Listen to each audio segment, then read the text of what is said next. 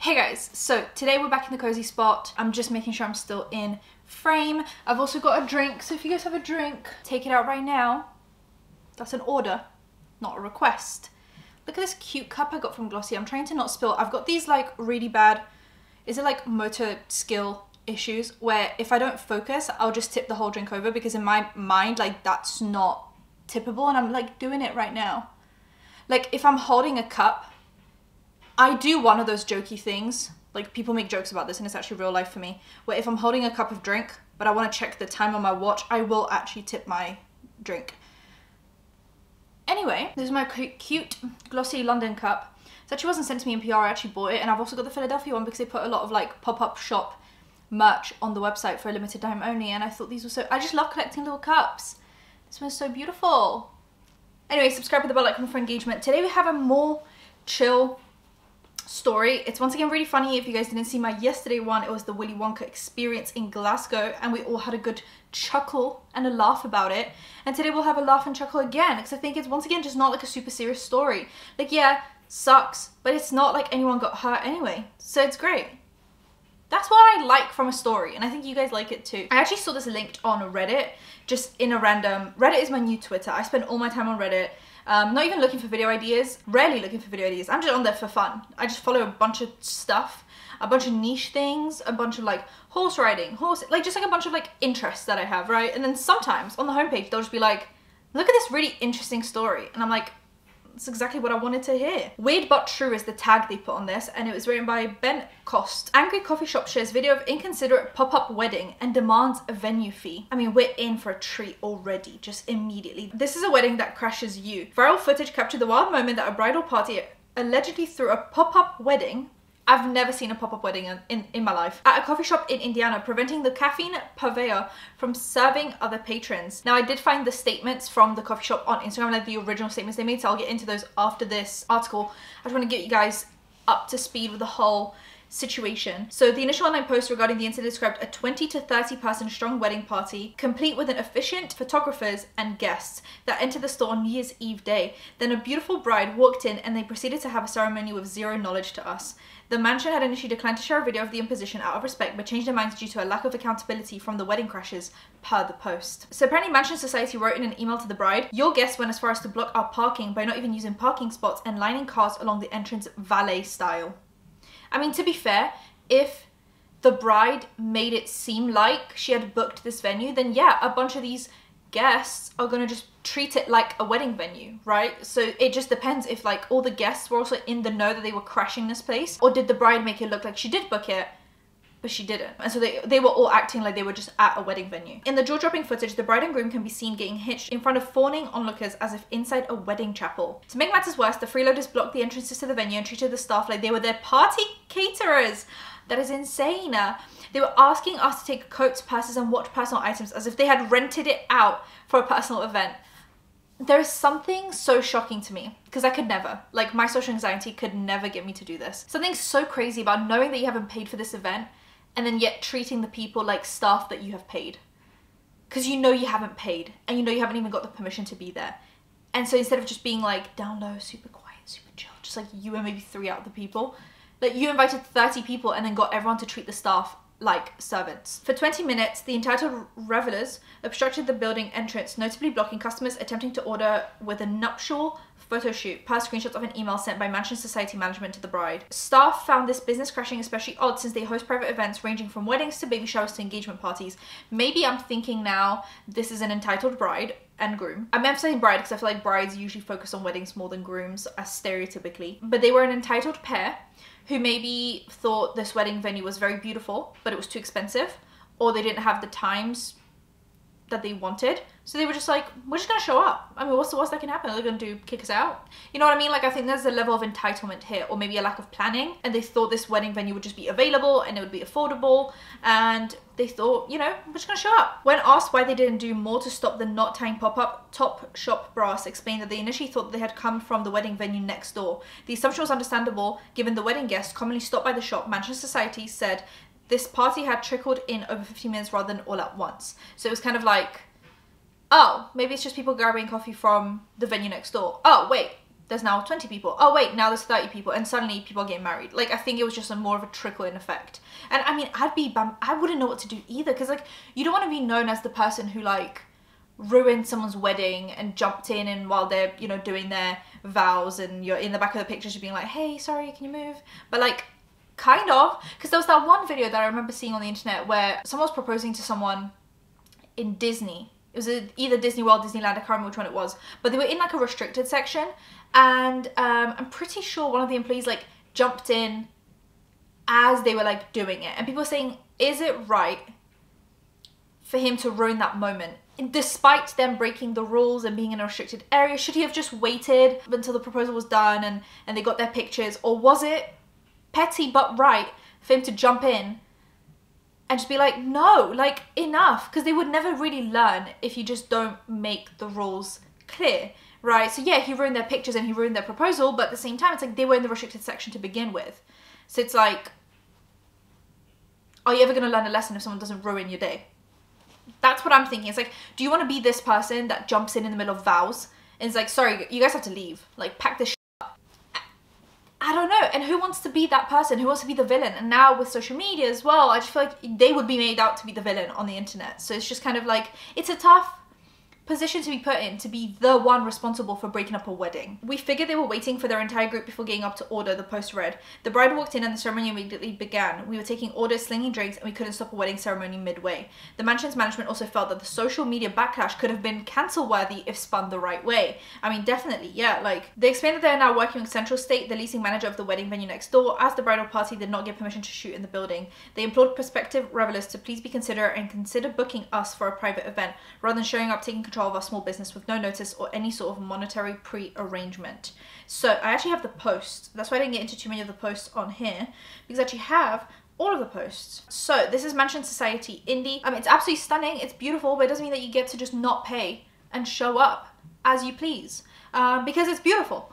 Why is it getting so dark in here? I feel like it's gonna. It's just been raining all day, and it's the weather here is so unpredictable. So, hi all, happy holidays. Today, 31st of December, we had an odd eventful day at Mansion that we feel the need to share.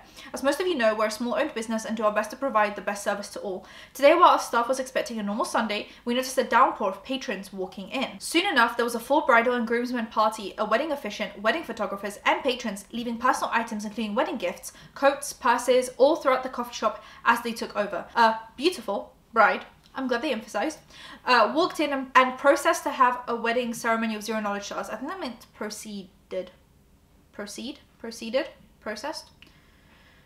Now I'm confused. Knowledge to us. We book for private events and are proud to host bridal and baby showers, engagement shoots, parties, and all sorts of private events. We are delighted to be considered beautiful enough to host any special events. The group of about 20 to 30 people continue to not only have a wedding ceremony, but take pictures, videos, and block pathways for customers trying to enter Mansion Society. They were asking us to take coats, purses, and watch personal items as if they had rented us out for a private event. We debated not sharing today's event and what to share, we are ultimately sharing to ask our patrons to please be considerate and mindful and consider booking us for a private event other than showing up and taking control of our small business with no notice or any sort of monetary pre-arrangement. Thank you to all who took the time to read this. With love and respect, the Mansion Society family. And they turned the comments off on this, but it had 11,500 likes. They're a small business, right? So then, literally two days later, they post an update and the caption says update thank you all and it has 16,500 likes once again comments turned off Hello again, we have an update. We'd like to update you on our pop-up wedding saga. It's been an overwhelming couple of days and we first want to thank you all for the support, kind words, reassurance. We are in the right and even a GoFundMe has entered the group chat. We will try our best to answer all questions in this post to move forward. Yes, the post has reached the bridal party in question. The bride to be specific, she reached out via email offering a $200 donation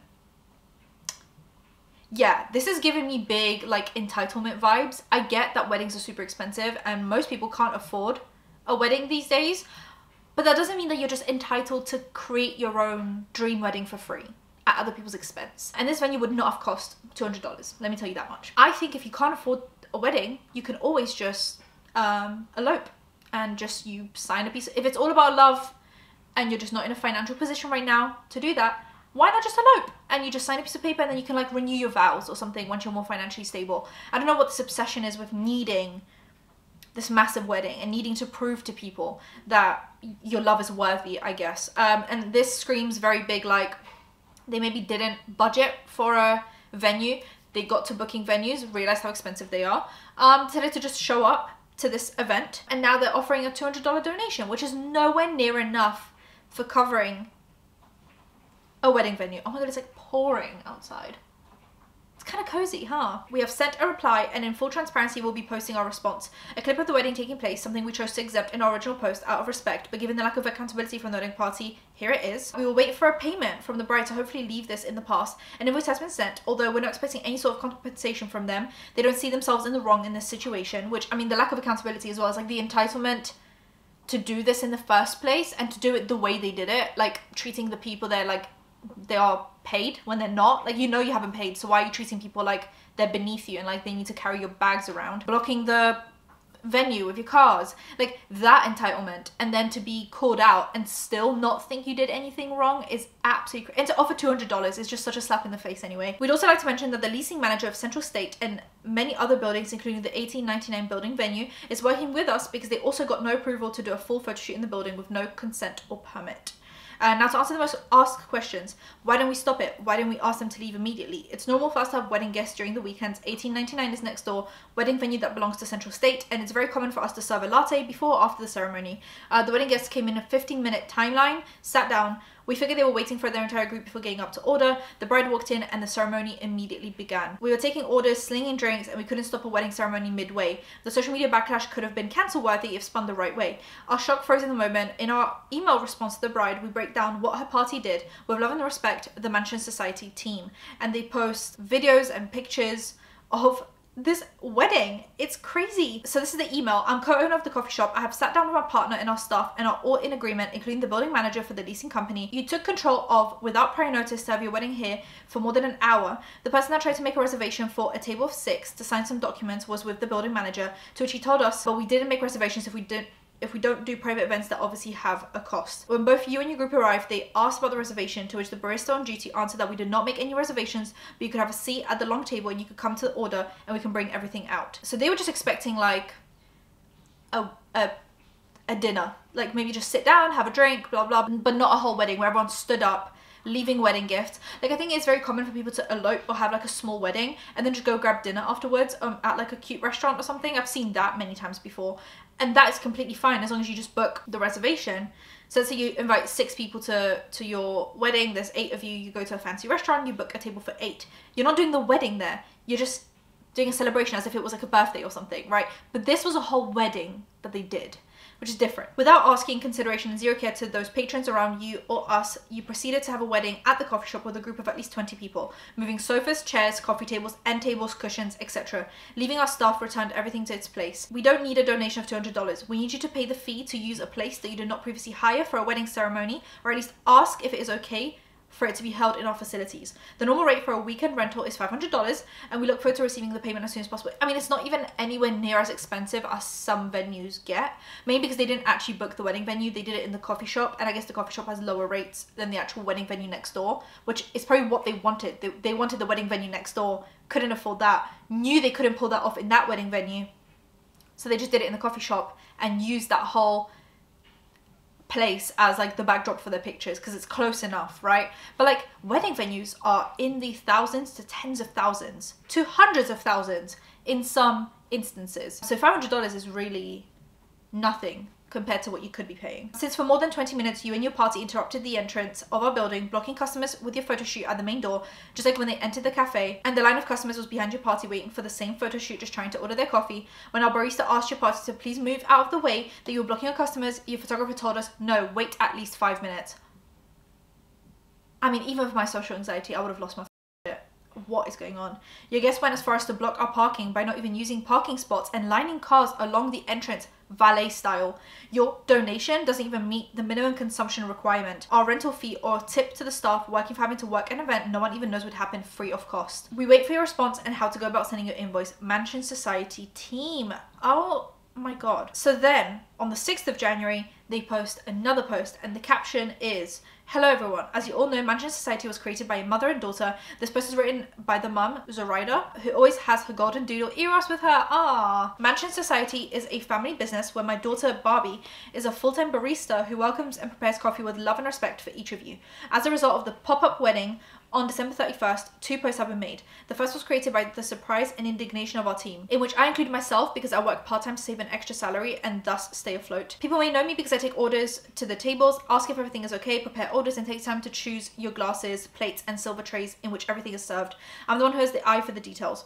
Mansion is in equal partnership with my eldest daughter. We each take on different roles on day to day and behind the scenes. Over the course of two years, we have learned a lot about being in the customer service industry, and as the saying goes, the customer is always right which I completely disagree with. Oh my god, where did this sun just come? It was literally just pouring.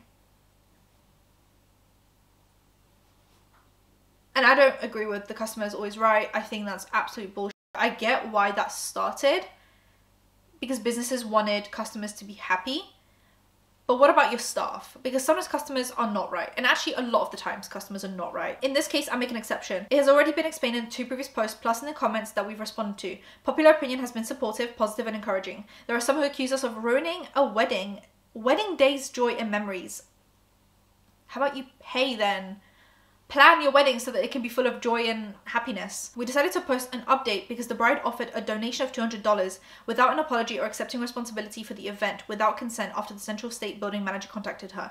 As for an update, she responded, That's unreasonable. She has no reply to our invoice. Please respect all the small local businesses that are trying to stay open and provide jobs and services to the city for the better. With love and respect, Zoraida L, co-founder. And they also posted, which I thought was kind of shady but kind of cool, uh, they posted a newlywed shoot at the Mansion Society. Yeah, congratulations newlyweds. Thank you for choosing to capture your moments at the mansion. And it just goes to show like if you just book and you pay and you show up respectfully, you will have your perfect photo shoot. No one's gonna be angry, no one's gonna kick you out. I went through some of the comments. Someone said all the haters, the bride getting all the grief did in fact speak to the manager and he okayed it on him to find out more details. What a mean-spirited coffee shop to accuse them. It was their wedding day for goodness sake. Show some flex. Hi, the manager they spoke with is the manager of the leasing company we pay our rent to. He has no affiliation with Mansion Society. The wedding party reached out to the apartment leasing office. So it's like they clearly were doing everything they could to get around and like we asked, we said we'd get dinner, we said we'd have a long table. It's like